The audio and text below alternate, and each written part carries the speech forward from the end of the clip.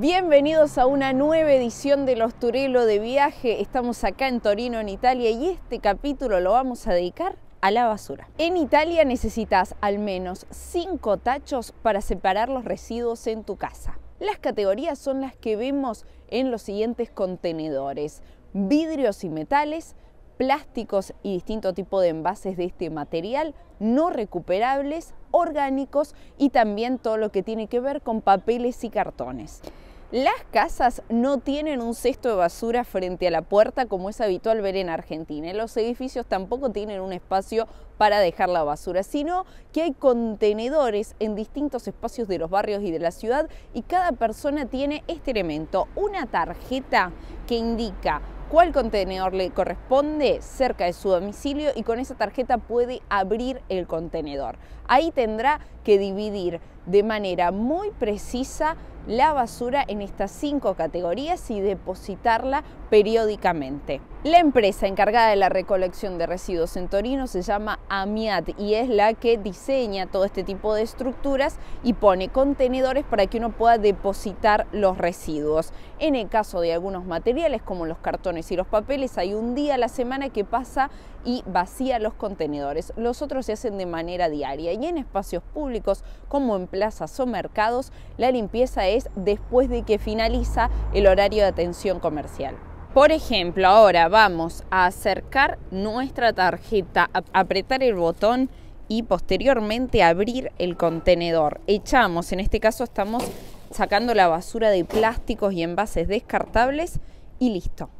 Una vez que depositamos en cada contenedor la basura correspondiente, que ya dijimos son cinco categorías, como no recuperables, orgánicos, vidrios y metales, plásticos y cartones y papel, también tenemos la opción en algunos espacios públicos como plazas, espacios verdes, de dejar ropa en desuso, elementos en desuso, ropa en buen estado y hacer donaciones. Hay una empresa que se llama Humana y deja contenedores en toda la ciudad para que dejemos este tipo de elementos descartables y después se puedan dar a una persona que sí los necesita. Y bien vemos que es muy organizado el sistema de recolección de residuos, podemos decir que cuando vemos Italia no nos resulta un país exento de basura. Se puede ver basura en las calles, papelitos tirados. Después de la apertura de mercados también se ven restos en las distintas plazas y lugares. Es decir, que el comportamiento y la educación en torno a los residuos no es la misma que tienen algunos países vecinos. Según cifras oficiales de la AMIAT, la empresa de recolección de residuos, junto con otros organismos nacionales,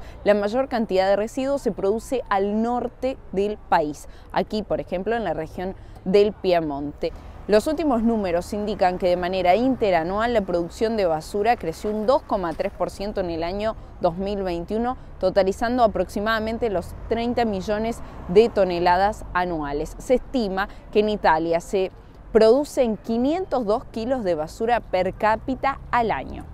Otra particularidad que tiene Italia es que existe algo que se llama tasa sui rifiuti. ¿Qué significa esto? Bueno, es una tasa, un impuesto anual que pagan los habitantes, los inquilinos y también los propietarios por generar basura. Sí, un impuesto a la basura.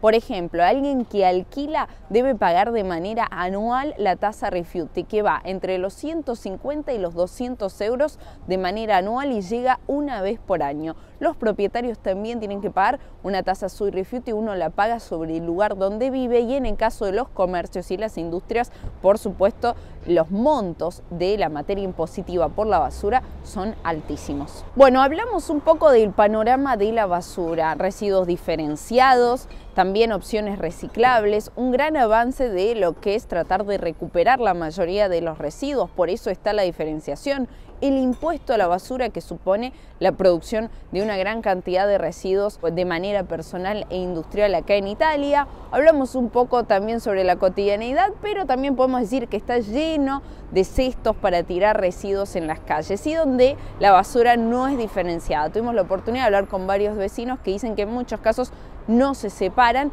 y que tienen que ser ellos mismos los que controlan. Es decir, la misma comunidad insiste con que separes bien la basura como digamos una normativa moral para poder avanzar en cuestiones como esta y acercarse así a otros países que sobre todo están mejor posicionados en materia de residuos. Llegamos a este final de los Turelo de viaje, esperamos que te haya gustado este episodio. Queremos saber, por supuesto, cómo es el tema de la basura diferenciada y por qué no animarse a tener este tipo de posturas, bien a través del compost o a través de la separación de residuos. Una, una, particularidad que hay acá también en Italia es que uno cuando tiene que, por ejemplo, sacar muebles a la calle, podas y residuos de gran volumen, tiene que hacer un llamado a la empresa de residuos para que lo recojan. En Córdoba hay un sistema similar y bueno, por supuesto, los esperamos en otro capítulo de acá de los Toreros de Viaje. Chau, chau.